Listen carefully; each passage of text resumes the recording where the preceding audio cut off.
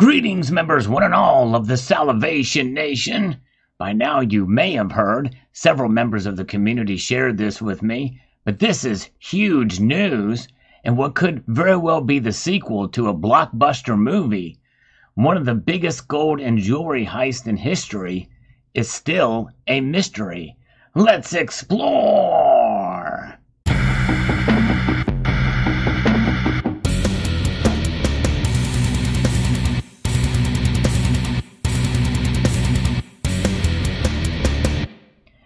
Was an unintentional rhyme, but I think it works. The Los Angeles Times is the one publication that's close to this in proximity. Mystery shrouds the colossal Brinks heist at I 5 truck stop. Who stole millions in gems and gold, and how much was really in there? The estimates are staggering. And I'm not just talking about the dollar amount, but the range of the dollar amount that was stored in this Brinks truck.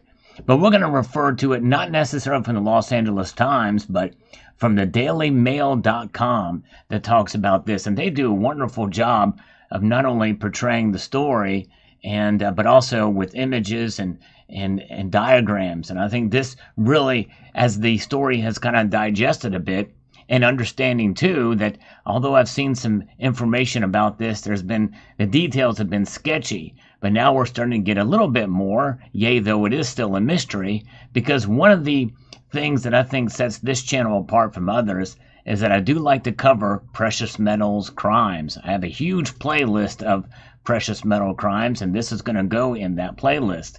So if you're interested in that type of thing, I hope you will stick around and check out that playlist and subscribe to the channel. Maybe press the thumbs up button and, and hit the notification bell. So this highway holdup that netted thieves, well, they're saying here $100 million, but we're going to talk about that range here in a moment. And rare jewels and gold has left LAPD scratching its head. Crooks waited at truck stop for Brinks van drivers to pull in at 2 a.m. before emptying it in less than 30 minutes, 27 minutes. Now, that's very curious. They know that time. But, anyways, um, police believe a team of burglars discreetly tracked the truck carrying $100 million worth of jewels from a gem show in Northern California to a Los Angeles area truck stop before raiding the vehicle in one of the largest jewelry heists ever in history. The thieves robbed the Armored Brinks truck around 2 a.m. on July the 11th at Flying J truck stop along Interstate 5 near Grapevine, an unincorporated community in the San Joaquin Valley, in just 27 minutes.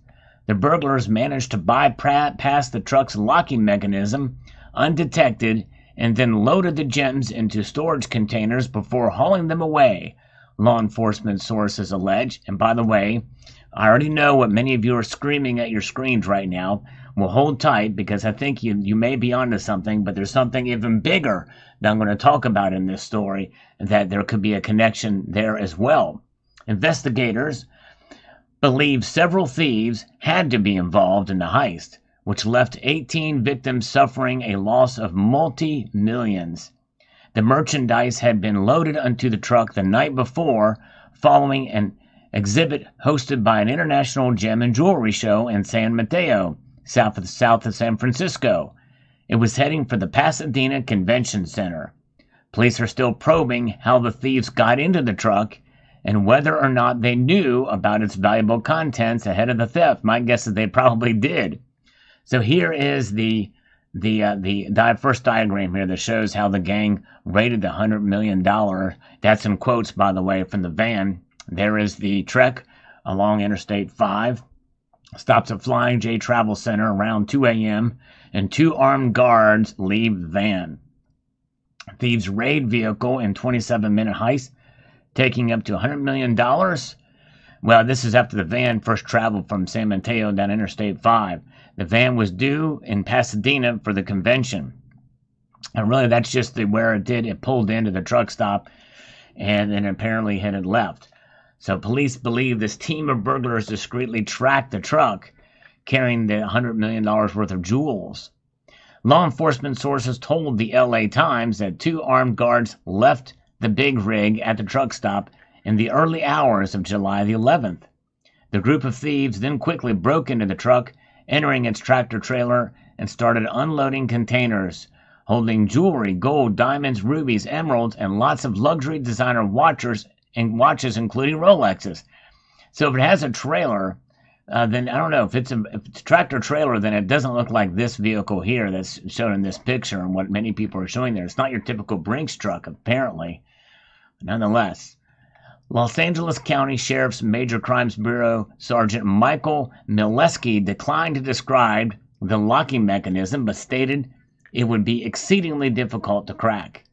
He also noted from the outside it wouldn't have appeared the truck was carrying riches, but guards openly carrying firearms while driving the vehicle could have tipped off a watcher by. FBI agents and major crime investigators at the sheriff's office have searched the Flying J for clues, interviewing potential witnesses and reviewing security footage from the truck stop. That's probably where they got their time, the 27 minute time frame.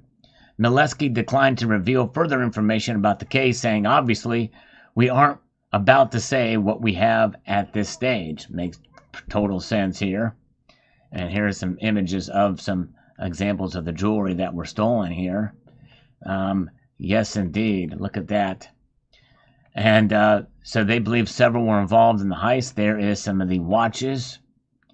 The group of thieves quickly broke into the truck, entering its tractor trailer started unloading containers holding jewelry, gold, diamonds, rubies, and emeralds, and lots of luxury designer watches, including Rolexes. Yes, indeed. Initial estimates indicated a $100 million worth of jewels were taken, despite the truck only having been insured for less than 10 million. So that's where this range comes from. So the insurance is for $10 million, but it could be that it was worth up to 100 million. We really don't know. And that's the part of the mystery here. We are talking multi millions here for sure, no matter what. It's a huge amount of money, Mileski stated. International Gem and Jewelry Show president Arnold Duke revealed the truck was transporting many 70 to 100 pound storage containers housing gems and jewelry. Previous reports indicated the thieves took between 25 and 30 bags containing an unknown number of individual pieces.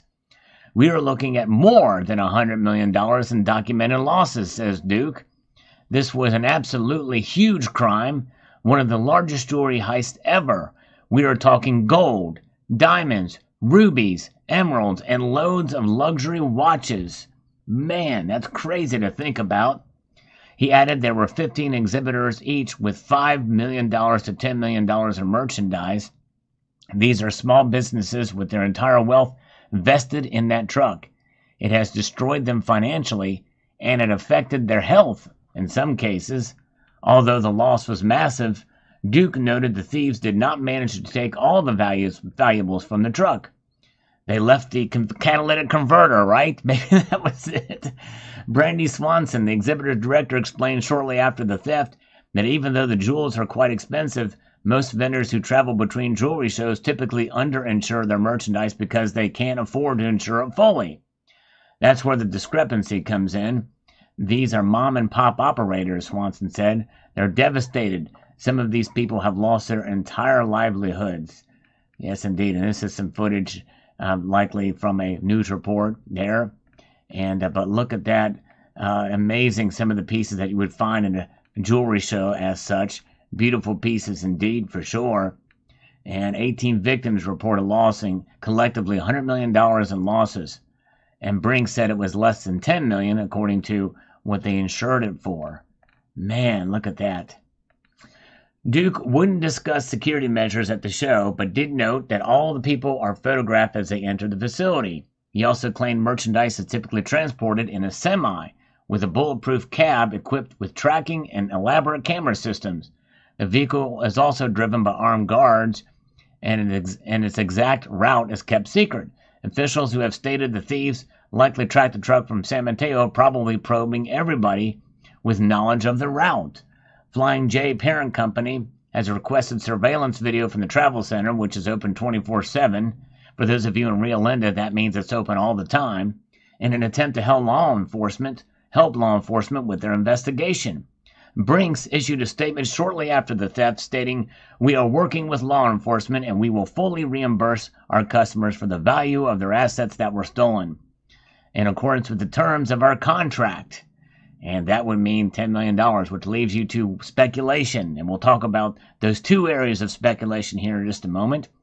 Additionally, insurance underwriters claim truck stop cargo thefts are relatively common, but not at this scale, that's for sure and it's pretty scary to think about. Cargo theft is a massive criminal enterprise uh, in the Los Angeles area, and last year alone saw more than $57 million in cargo truck thefts. California is also the top state for cargo snatches. You would think they would be extra careful and they'd have extra security with cargo things, but that leaves us to another speculative asset. Well, the first thing is, as well, if you'd insured it for $10 million and you have $100 million, um, um, of actual goods stolen, it very well could be a really good insurance claim, an insurance fraud case that very well could have happened in that regards. Uh, which means that, as some have speculated, like Doctor Who, that this was an inside job, and that is something that has been a common um, uh, claim or accusation by many in the comment sections of my prior videos with such heists as this, uh, and more likely it probably is the case. And these two individuals, armed guards, very well may have been involved. Likely they are interviewing them and working through that. Because how could they have broken this this lock system uh, that was apparently very, very much uh, highly, um, you know, safe and secure to make that happen? The other thing uh, that you know, so the inside job accusation is something that is obviously something that should be looked at, and they should be looking at. Um, if they were smart, they'd be looking at it as an inside job. That'd be the first thing you'd probably reveal, other than security footage and the like. See, see who has interest in this. But the other thing, which is equally as important, is it could have been a large organized crime organization, potentially, as was the case when I reported on this story. 20 freight containers full of gold, silver, and TVs stolen from a Mexican port. It was unprecedented. This was a huge heist that was done. That was the original in this movie. It could have been the same group involved in this. Highly likely on a container site. Cargo. Yes, indeed. So that's El Cargo. It could have been the case here, and this very well could have been related since they're in somewhat close proximity. You know, I don't know. I mean, Mexico, California, and you know how the cartels and in fact, just recently, uh, former Attorney General William Barr said that we should be treating the Mexican cartels more like ISIS than an organized crime unit. Uh, but nonetheless, they want to be able to fund their operations for sure. And what better way than to steal valuables, uh, including gold, but also TVs, which are very liquid, uh, certainly in many, many ways. That's why it was probably targeted there and why they took them. So very interesting indeed, fascinating both of these stories. Let me know what your thoughts are in the comment section below. Thanks again to everybody who shared the story with me. I want to extend a multitude of gratitude to all of you for taking the time to watch and to encourage you to please rate, share, comment, and subscribe.